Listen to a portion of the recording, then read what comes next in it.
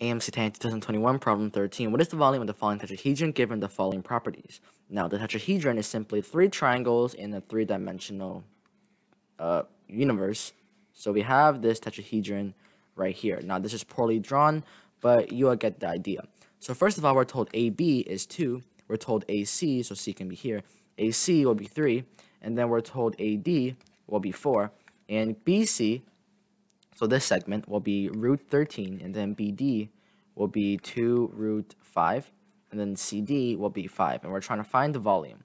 So right off the bat, we see here we have a side length of 3, 4, 5 for triangle ACD contains 3, 4, 5. Now, 3, 4, 5 is a famous Pythagorean triple, or it's a right triangle. So therefore, 3, 4, 5, that means 3 and 4 must have a right angle right here.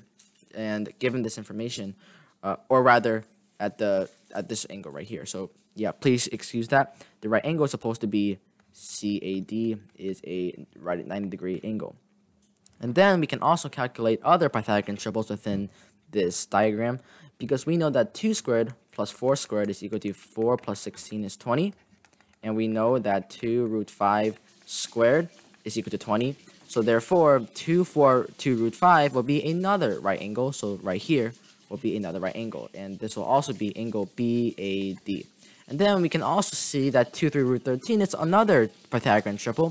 4 plus 9 is equal to 13, which is equal to 13 squared. So therefore, right here will be another right angle. Now, so many right angles, how are we supposed to calculate which one? Well, it's very simple.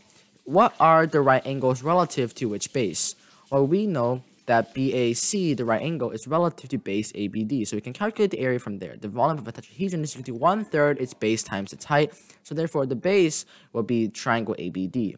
So the triangle area of ABD, since we have a right angle at BAD, will be 2 squared, or 2 times 4 divided by 2, since it's a right angle, so it's altitude and base, times one-third times the height. So the height will therefore be AC, and we're given AC is equal to 3. So 3 and 3 get canceled, 2 and 2 gets canceled, we're only left with 4, so our answer choice is answer choice C.